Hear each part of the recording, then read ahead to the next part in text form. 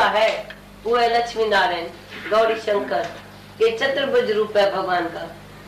दो बाएँ उसकी है तो दो बाएँ उसकी है। फिर देखो, जब ये शरीर आधा और इधर शाम हो गया, आत्मा शाम है तो ये चतुर्भुज हो गया।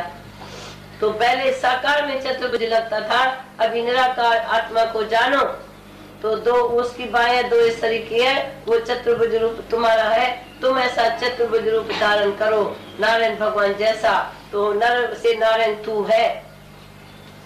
गुरुदेव को भी मुक्त करता है। पहले देव कारी लगती थी, अब दर्शन सबका सब याद। गुरुदेव को भी मुक्त करता है, अभी सब ब्रह्म हो गया। जड़, चेतन, मिट्टी, सोन, पत्थर टिक्कर बितर जितने भी चीज़ है, वो सब ब्रह्म स्वरूप है। ब्रह्म मना माया रेट अब माला इसको मालूम नहीं है, ब्रह्म को तो माया भी हुई है। वो बोलता है, मैं ही पसर गया हूँ ना।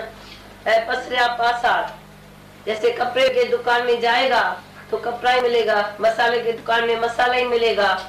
ऐसे हर दुकान फल का है तो फल मिलता है। ऐसे ही ये पसर गया भगवान। और तुम उसको पता नहीं क्या देखता है। भगवान नहीं पसर गया। भगवान नहीं हो गया, पर जगत नहीं हुआ है। तुम जगत जगदीश अलग देखेगा। जगत है नहीं, मन की कल्पना है। जब तक तेरे पास मन है संकल्प विकल्प है, तब जगत लता है तो है। जब मन नाश हो गया तो जगत रहा ही नहीं। ना मैं तन ही रहा, ना मैं मन ही रहा। सतगुरु मिलने से झगड़ा खत्म हो गया। कुटुंब वाले झगड़ा फैलाते हो, जाल इंद्र का अब तो खत्म हो गया।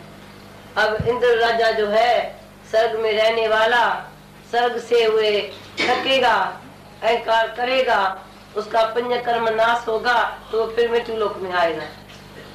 सब ऐसे ही है। जितने भी देव देवता है, वो उसमें अहंकार करता है। एक की दैत बुद्धि है, एक की दैत देवता बुद्धि है, तू बोलेगा, ये देवता तो अच्छा है, पर ब्रह्म नहीं है तो देवता भी कुछ नहीं है। क्योंकि उसको मालूम है तो ये दैत है, मैं देवता हूँ। उसमें भी ब्रह्म ज्ञान नहीं हुआ। अच्छा तुम बनेगा सत्व गुण तेरे में आएगा तो मैं अच्छा हूँ, मैं सत्य कर्मी हूँ, मैं कभी बद कर्म नहीं करता हूँ। मैं किसी को तंग नहीं करता हूँ, मैं किसी को दुखी नहीं करता हूँ। अहंकार देवता को है अदैत को भी है, पर भगवान उन दोनों को देखने वाला है। देवताओं को अदैत को, दोनों को भगवान देखने वाला है। भगवान देखो सिंगल है, अकेला है, वन है, पर अनेक रूप उसने धारण किया तो भक्ति किसकी तू करेगा?